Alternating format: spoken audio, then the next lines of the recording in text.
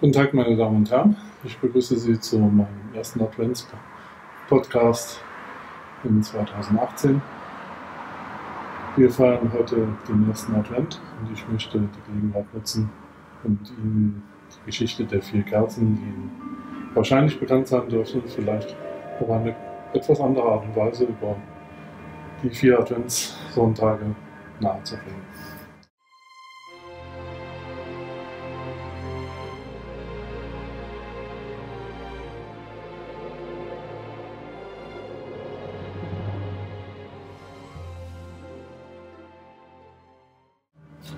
Am ersten Adventssonntag zünden wir symbolisch ein Licht an. Diesmal ist es das Licht der Hoffnung.